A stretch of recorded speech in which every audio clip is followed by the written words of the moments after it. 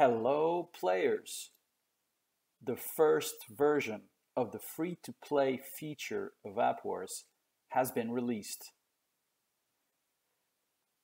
If you press the link on the description below of this video, you will find this interface. You will be prompted to confirm the interaction with your wallet. In this case, we'll be using MetaMask. As you can see here, it's actually preview of the first parts that you will find on the following sections of the game. So what do you do now? You press confirm, you authorize everything on your MetaMask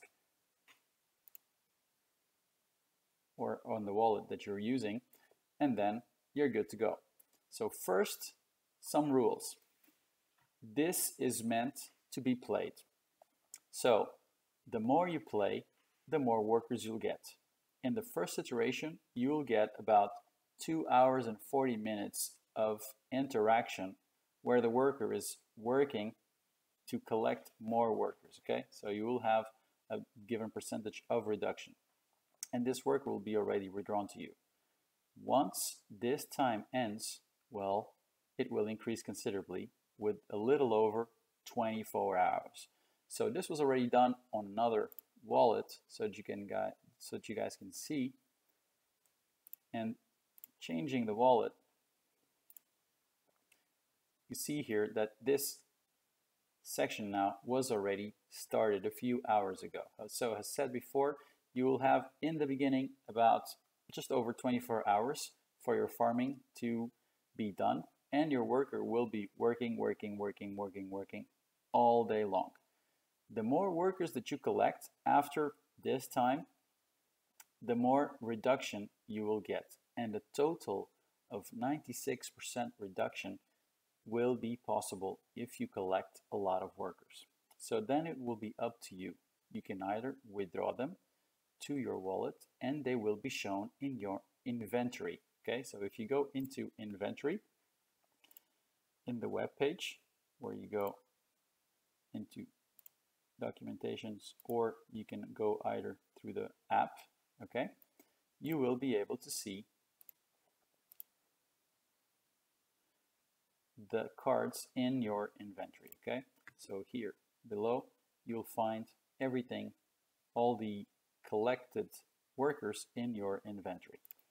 Still the more workers that you collect the more that you'll be able to collect as well. Because if you decide to withdraw them to your wallet, this reduction in time will be increased, of course, and you will be starting from scratch. Okay, so it's basically uh, an incentive for players to keep their workers in the game and not withdrawing them to their wallets because the more you work for, uh, uh, for this time reduction, the more workers you'll have in the end. And you might ask, so this is the free to play version. This is the interaction at the moment. Why should I do this? Well, at first, obvious. You should do this if you want to play the game and get to know a little bit more have the initial experience of what the following features of the game will look like.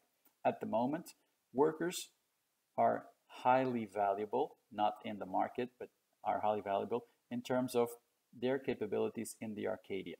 So the Arcadia will have villages, clans, and worlds, right? If you remember that correctly. So, if you only have troops, who will be uh, uh, harvesting the crops? Who will be planting the new crops? Who will be collecting water? Who will be taking care of your cattle?